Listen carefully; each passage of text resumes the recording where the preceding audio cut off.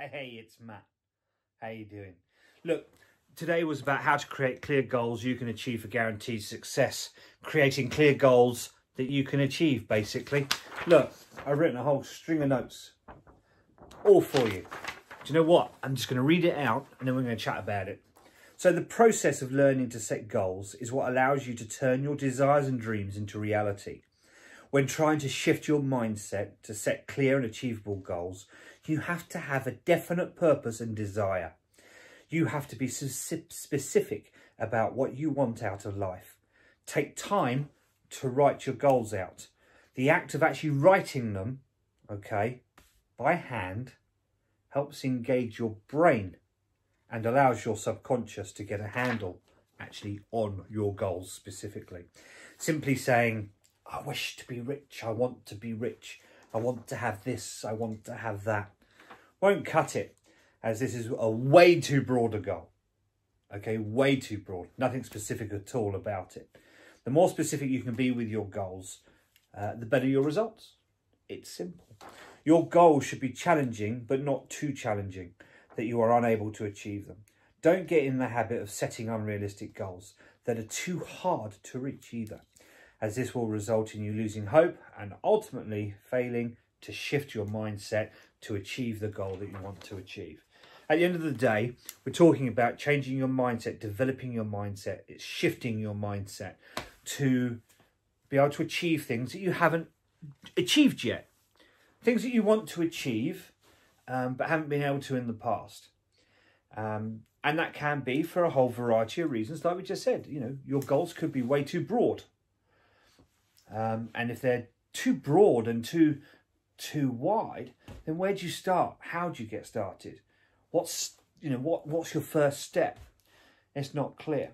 So that's why I say you got to write them down. And when I say write them down, I mean pen and paper. Write them down. Okay, because as you think them, you write. And as you're writing them, you're reading them. So there's three times there you're going over that same goal, that same process, that same thought pattern. Whereas if you just think it and then try and put it into action, it's just half, you know, it's once. Um, if you type it onto a screen, which if you're like me, you'd be tempted to do, and I've, trust me, done this because my handwriting is terrible. Hence why these are all printed and typed because I wouldn't be able to read it otherwise because my handwriting is a mess. Um, however, if you take the time to write down the goal, you will naturally become more specific with that goal. You will create, create, you will create a better understanding of that goal and actually highlight to yourself the processes that you will need to go through to achieve that goal. Um, and that's what you need to do.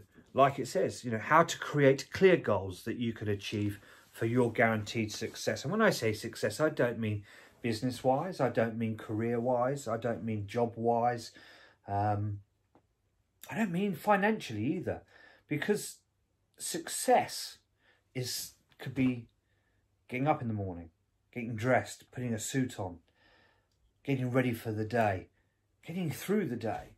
Um, success is, is, again, it's such a broad spectrum. It means so many different things to so many different people. So whatever your success is, by setting a clear specific goal, you are creating a guaranteed way to succeed at that. So action is needed. Today, make today count. Write out your specific goal put those steps in place and make sure you stick to them. Like it says, just going to go back actually, you know, the act of writing your goals by hand helps engage your brain and allows your subconscious to get a get a handle on it. We underestimate day to day the power of our subconscious. We can't quantify enough on a personal level how much our subconscious actually works automatically behind the scenes without you even thinking about it. You see, I'm talking and I'm moving and, and my hands are moving, my hand gestures, my eyes, my engagement with the camera, with you. That's all subconscious. I'm not thinking about doing these things. It's natural. That's because that's programmed into me from what I've learnt in my life. So it's our subconscious that tells us what to do. It's our subconscious that makes us do what we need to do. So therefore, we have to, by writing things out, pen and paper, the old fashioned way, that's how we need to engage our subconscious mind to engage with our goals. So, two actions like and subscribe, follow, whatever it is around this video. Um, and two, go write down your goals.